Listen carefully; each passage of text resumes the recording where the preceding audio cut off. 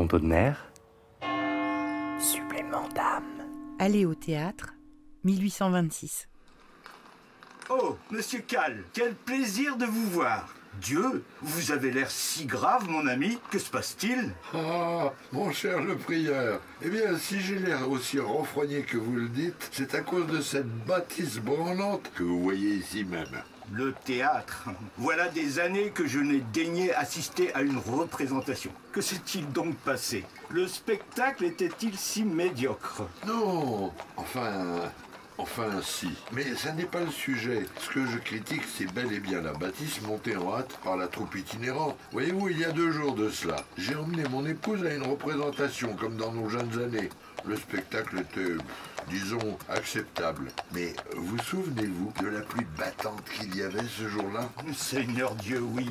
Quelle averse Eh bien, cette maudite charpente fuit de partout. J'avais offert à ma femme un chapeau venant de Paris, une merveille qui m'avait coûté les yeux de la tête. Il est fichu, ruiné, une fortune je l'avais payé. Sans parler de l'inconfort d'assister tout frigorifié à une représentation tiède. Mon bon monsieur, à qui le dites-vous? On m'avait dit tant de bien de cette représentation que j'avais décidé de sortir ma plus belle pelisse. C'est une éponge. Deux jours qu'elle sèche, elle goûte encore. Oh, c'en est trop. Nous sommes très attachés au théâtre dans notre ville et il n'est pas question d'entendre de grands textes sous des charpentes aussi précaires. Je vais de ce pas écrire une lettre au conseil municipal. Permettez que je m'y joigne. Votre lettre aura plus de poids s'il y a co-signature.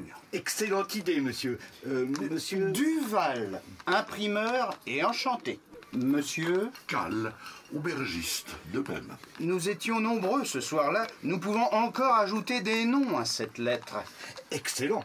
Allons nous en enquérir dès à présent.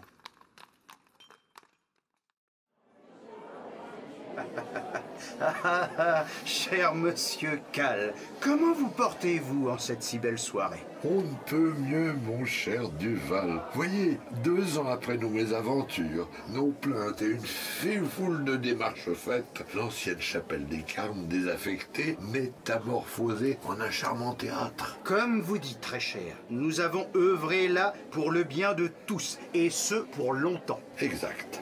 Dites-moi, j'ai entendu dire que cette pièce choisie pour l'inauguration avait fait lever le tout Paris. Ma femme est là-bas au deuxième rang. Vous joindriez-vous à nous? Tous les signataires sont là. Je vais rejoindre mon épouse. Savez-vous si les comédiens sont beaux Peu nous chaud, c'est la pièce qui compte et le plaisir qu'elle nous donne. Un jour, mon ami, nous verrons les comédiens sans même qu'ils soient présents. J'attends le jour d'une telle magie. Mais regagnons nos sièges, on frappe les trois coups.